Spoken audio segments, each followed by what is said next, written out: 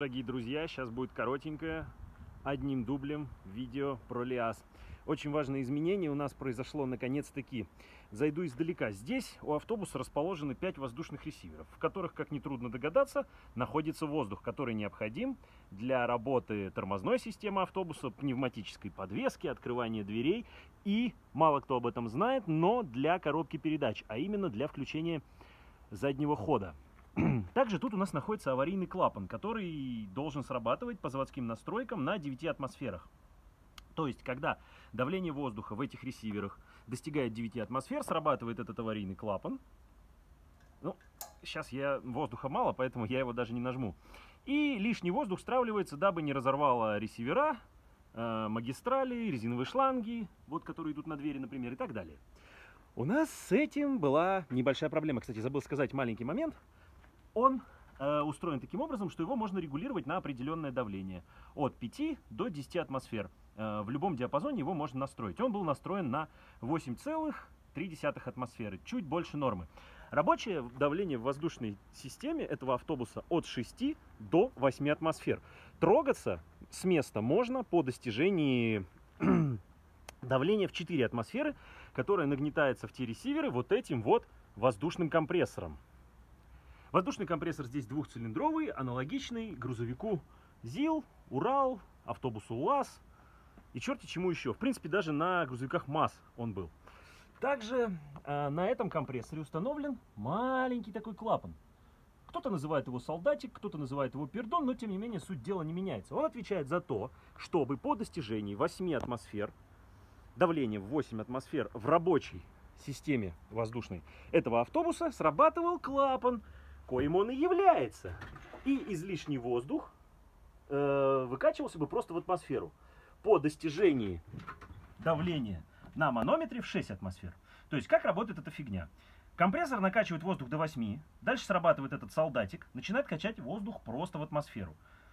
Э, используя тормозную систему, открывая двери, качаясь на кочках, автобус поддерживает определенный уровень пола, открывает, закрывает двери, то есть расходует накопленный воздух. И таким образом давление падает до 6. Как только давление падает до 6 атмосфер, снова включается наш солдатик и опять накачивает до 8. Честно сказать, у нас эта система не работала с момента приобретения автобуса.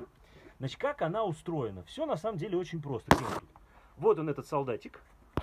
Вот он, вот он, вот он, вот он, вот он. Вот он, да. К нему идет шланг, который подсоединяется в магистраль где-то примерно вот в этом районе. Он, естественно, был заглушен. И долгое время, долгое время у нас э, работала система через аварийный клапан. Поэтому кто с нами катался, тут помнит такой достаточно противный звук бзз, бзз, который многие слышали с определенной периодичностью, особенно когда автобус движется равномерно со скоростью больше 20, больше 30 км в час. Значит, вариантов решения этой проблемы у нас было два. Учинить этот солдатик, что, в принципе, довольно легко, но довольно ненадежно, поскольку конструкция очень маленькая и хрупкая. А также здесь у нас появлялся дополнительный воздушный э, шланг. Ну или медная магистраль, это не принципиально. Значит, решение было гениально, столь гениально, сколько же и простое. Э, установить разгрузочный клапан от автомобиля ЗИЛ – он же КАМАЗ, он же трактор МТЗ и хрен знает что еще. На самом деле на огромное количество разных э, транспортных средств и специальных машин он устанавливался. Как теперь это срабатывает? Значит, теперь у нас не работает аварийный клапан. Я его вернул обратно на 9 атмосфер его регулировки. Теперь по достижении рабочего давления в 8 атмосфер ровно, что рекомендуется заводской книжкой этого автобуса, а также всеми техническими регламентами, управление воздушными системами автобуса ЛиАЗ и так далее и тому подобное. Этот клапан срабатывает. Здесь есть регулировочная гайка. Его точно так же можно настраивать на разное давление. 6, 7, 8, 9, 10, 12 атмосфер или 5, неважно. А, вот, этой, вот этим винтиком и контргайкой мы выставляем определенное давление. Выставляем очень просто. Накачиваем до нужного, начинаем его крутить.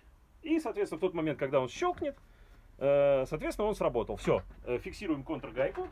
И все прекрасно у нас работает. Э, дальше до 6 атмосфер он, этот разгрузочный клапан, качает воздух в атмосферу через вот этот вот штуцер. То есть, проще говоря, гонит воздух просто вот сюда. А потом, когда давление падает до 6, он снова включается. и обратно накачивает воздух в ресиверы до 8 атмосфер. Что нам это дало? Во-первых, это разгрузило нам компрессор. Он теперь молотит не постоянно под нагрузкой, а только в те моменты, когда наполняет ресиверы воздухом. И мы избавились от очень, гла... от очень важного такого момента противного, как э, вот этот неприятный звук бзз, который создавал дополнительные шумы в салоне, чем мешал очень сильно нашему экскурсоводу, комфорту пассажиров и так далее и тому подобное. На самом деле, на самом деле, помимо всего прочего, мы еще и выиграли в том, э, что теперь э, зимой, когда у нас компрессор накачивает воздух, он будет сбрасывать масло, которое так или иначе, какой бы новый компрессор ни был, кстати, зимой я его перебирал, новые кольца, поршня, все, клапана, все новые пружины, все-все-все-все-все новое, кроме этого солдатика. Вот. Солдатики, кстати, только китайские теперь продаются, СССРовские найти довольно сложно, регулируются они, кстати, аналогичным образом тоже там есть. Контргайка, гайка и регулируешь.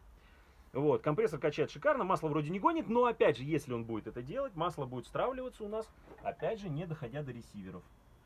Хотя нет, оно по-любому будет туда попадать, когда компрессор будет качать в обход этого клапана в ресиверы по достижении 8 атмосфер.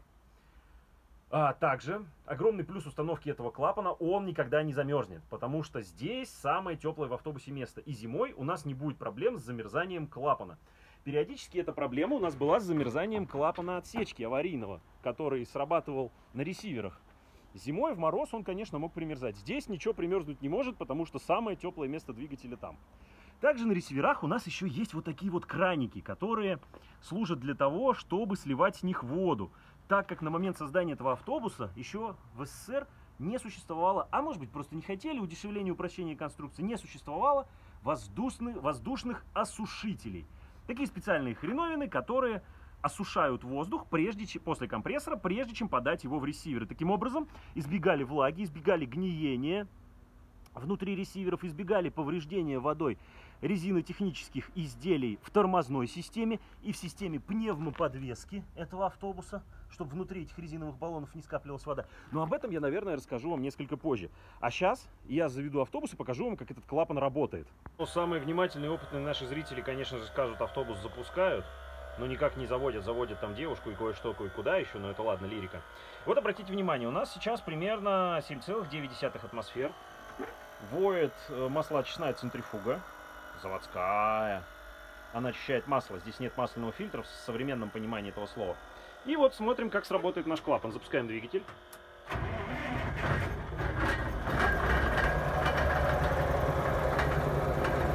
Вот сейчас он качает воздух в ресиверы.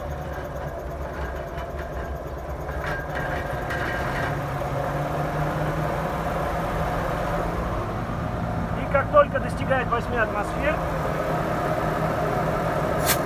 оп, возможно, вы даже услышите, как изменился звук.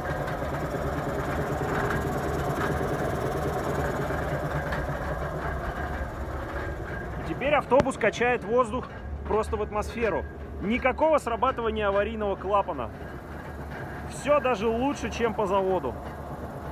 Я надеюсь, вам понравилось. Об остальных технических особенностях смотрите наши следующие видео.